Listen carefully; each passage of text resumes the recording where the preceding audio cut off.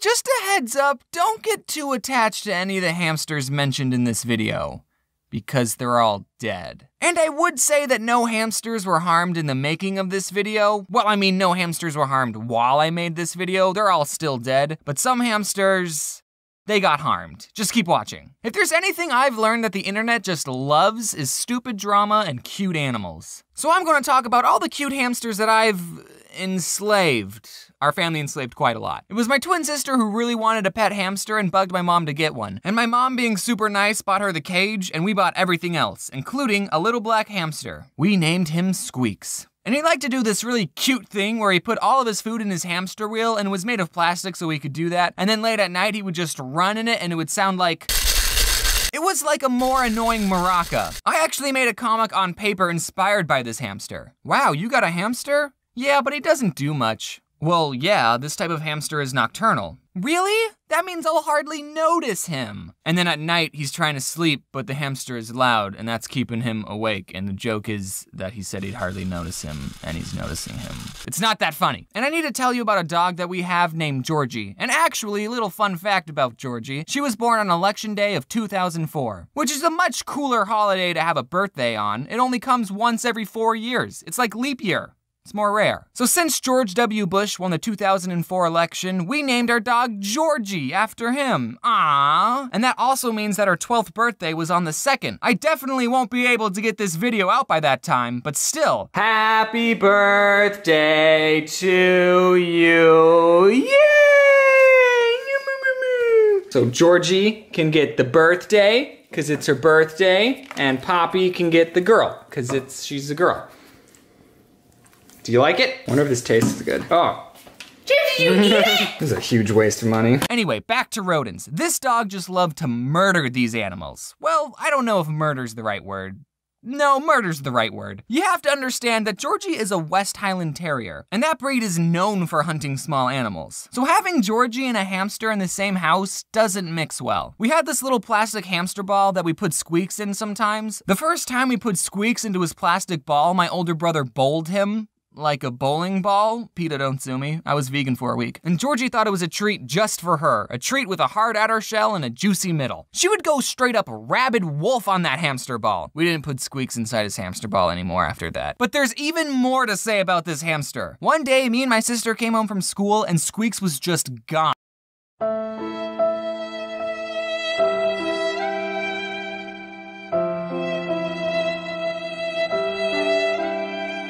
He escaped. Everyone check your pockets! We looked everywhere and we couldn't find him. We had to keep a close eye on Georgie at all times. My sister put up missing posters around the house. I don't know if those helped. We made these traps out of Duplo. Did anyone else's parents get them Duplo instead of Legos? No, only my parents were that lame?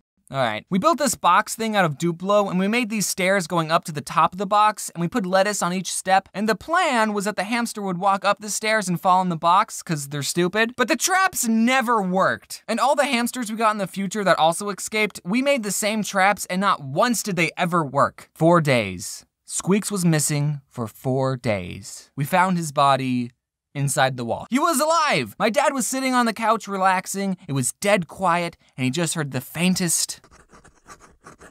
Squeaks was inside the wall. We think he got in through our laundry chute. I don't know what I would do if my kid's hamster was inside the wall of my house. Well, kids, now's an important time I teach you about death. My dad ended up cutting three holes in the wall and lured Squeaks out with some lettuce. Poor thing, he was probably starving. Hopefully, he kept some extra food in his cheeks. So, even being tormented by the dog and getting stuck in the wall for four days, Squeaks still lived a fulfilling two years of life. Hamsters don't have that long a lifespan. We buried him in the backyard.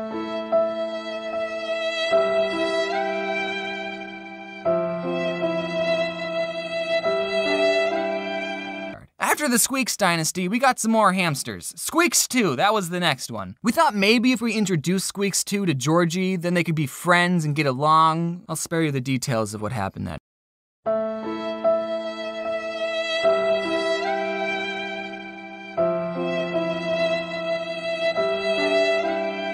The next one we named Killer because he kept biting us, so get it? Killer? Yeah, he ended up getting killed.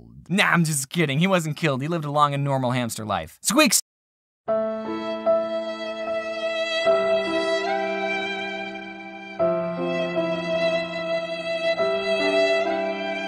Was killed though. I don't know if you picked up on that. We bought these three little hamsters. Seriously, they're the most adorable little things. They look like this. I forgot their names. We'll just call them the three amigos. Aw. The lady at the pet store told us that if we bought hamsters from the same litter, they would all get along. She was obviously just trying to sell us more hamsters, or maybe she didn't have any siblings. But these bros just hated each other. They would never stop fighting. As I was writing the script for this, I thought, well, maybe they were just aggressively playing. So I Googled, do hamsters play with each other? Just to be sure. And the first thing that showed up, dwarf hamsters, which is what the three amigos were, are quite territorial and will not see former cage mates as old friends. They see them as threatening rivals. So there we go. You really know your hamsters, lady. So we had to get three different cages for them. We put them right next to each other, and I swear they still gave each other some death glares. I actually made a video a long time ago about this time I broke one of their cages. I was cleaning it outside, and for whatever reason, I was like, huh, wonder if I could stand on it. The answer, no, I couldn't. The glass broke and I bled everywhere, and I still have the scar on my foot. And then all the three amigos died off, one by one.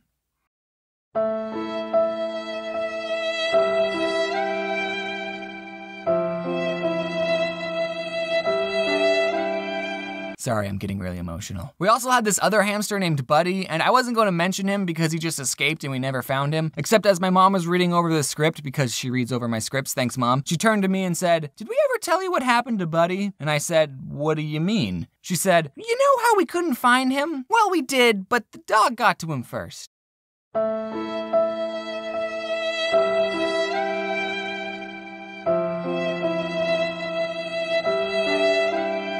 This one time I wanted to buy a hamster and I saw some that were on sale, and there was this piece of paper next to the cage that said, Please adopt us. Oh, shoot, I'll take one of these puppies. No, no, not an actual puppy. I, I meant one of the hamsters. And I named her Pumpkin Seed because she was that tan pumpkin seed color. But then one month after I got her, she just died for no uh. reason, even though I loved her. She had food, she had water. This wasn't the first time I was taking care of a hamster, okay? All the other ones lived for a couple of years. I was so sad.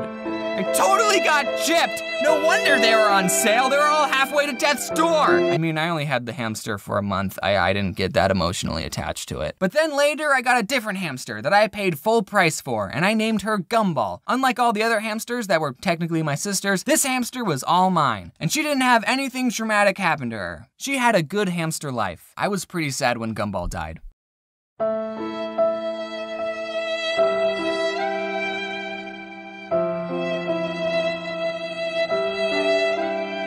We lavished these hamsters, okay? We loved them. At least my sister did. She cried when they died and made little gravestones for them. Our mom used to always say, there's no point in being a skinny hamster. She gave them a lot of treats, so much so that it got to the point that the hamster would come out looking for my mom just by the sound of her voice. All in all, there's about seven dead hamsters buried in our backyard. Rip in peace, little bros. Oh, Jose, can you see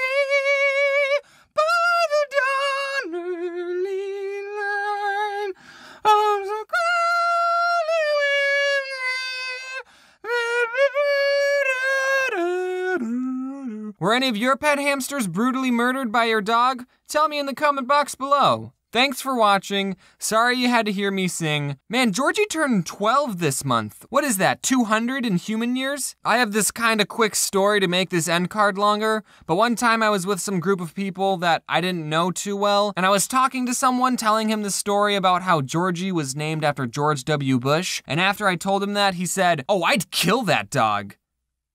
Alright, man, that was a pretty weird thing to say. Before I say wear your seatbelt, I just want to say hi to Jacob, Josh, and Carson.